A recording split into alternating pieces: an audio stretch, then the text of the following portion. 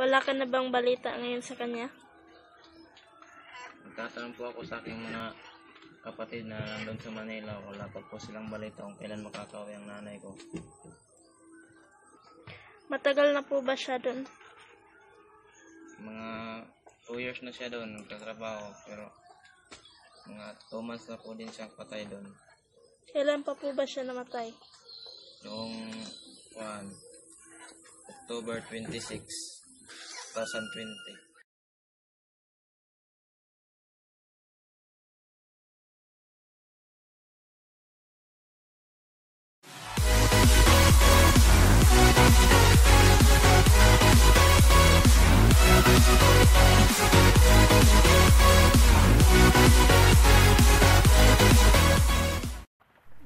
Magandang hapon po. May interviewin po ako ngayon. Sir, ano pong pangalan niyo?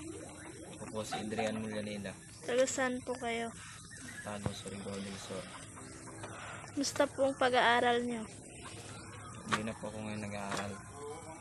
Bakit po? Anong nangyari? Nawalan po ako ng ganas pag-aaral. Nasaan po bang mga magulang mo?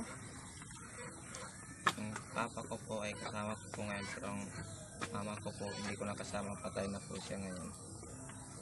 Ano po bang ikinamatay niya? Hindi ko alam kung anong, anong dahilan ng pagkamatay niya. Saan po ba siya namatay? Namatay po siya sa Kuwait. Doon po siya nagtatrabaho. At hindi pa po siya nakakauwi ngayon.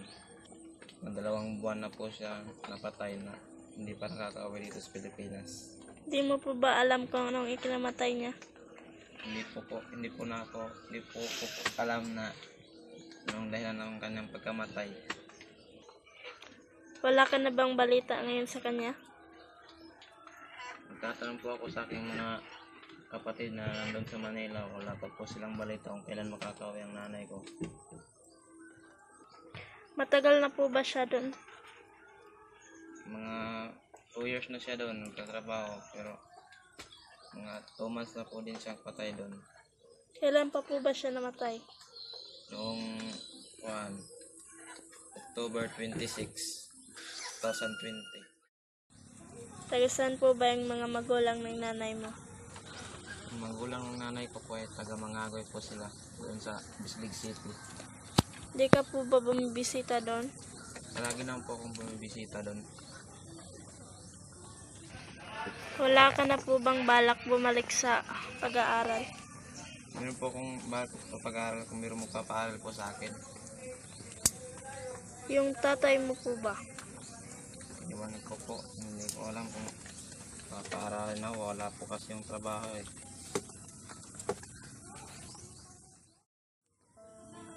Hindi ko po iniisip ang ngayong sumikap. Ang alam ko lang po eh. Paano, palagi lang po akong bubulakpol. Hindi, hindi naman lang kahit ako ngumusta lang sa aking ina, hindi man lang magawa. Kaya malagi talaga akong pagkulang sa kanya. Iniisip ko lang ay um, maglibang, mag maglaro, mag pupunta kahit saan. Ay, Hindi ko naman naisip na kahit mangumusta lang sa aking ina. Nag-chat sa kanya sa Facebook.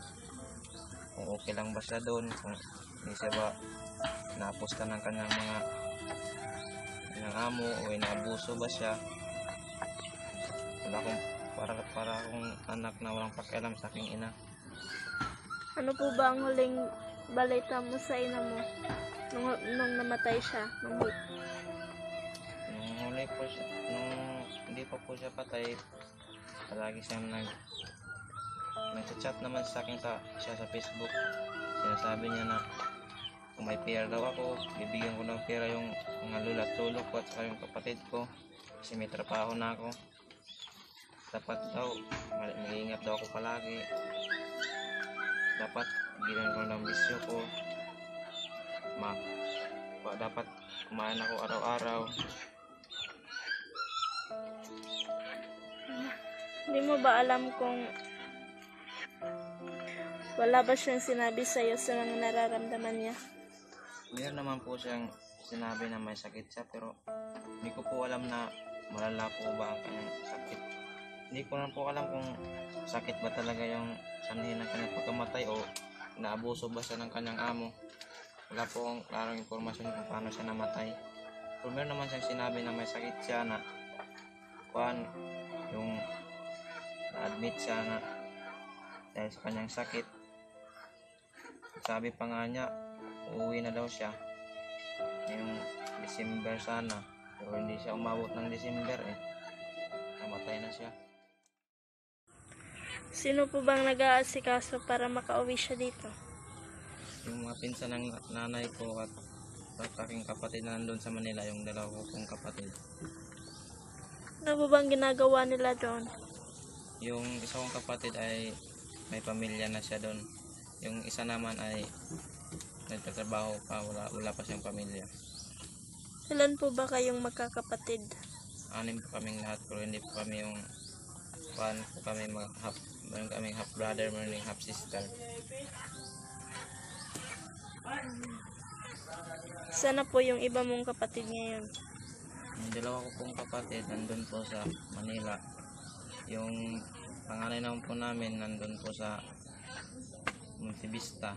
Yung kapatid ko naman pong babae nandito kasama ko ngayon. At yung bunso po namin, yung half, half brother ko, hindi ko alam kung anong pangalan lugar na kung saan siya ngayon. Ano po bang trabaho ng tatay mo? Wala po siyang trabaho ngayon. Sino po bang nagpapakain sa'yo? Lula at lolo ko, mga magulang ng aking tatay. Bakit naman po hindi siya nagtatrabaho? Hindi ko po alam kung bakit hindi siya nagtatrabaho. Ilang taon na po ba yung tatay mo? Hindi ko po alam mga 46 yata. Ikaw ho ba? Ilang taong ka na? Labing anim na taong po ako ngayon. 16 po. Hindi mo ba namimiss yung mama mo? Siyempre naman po namimiss po. Pag naisip nga ko nga po siya, naiiyak po ako. Hindi ko pa ramdaman na wala na po siya sa aking tabi.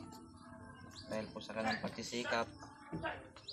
Na pag-aaral kami ako mga kapatid. Nawalan po siya ng buhay. Sumikap sa aming mga magkakapatid para mapakain kami. Panginoon tatlong bisis isang araw. Hindi akong perfectong anak sa kanya. Lagi po akong pagkukulang sa aking nanay. Dahil sa pag-speak up niya sa pag para para kami mga magulang, tumigil po ako sa pag-aaral.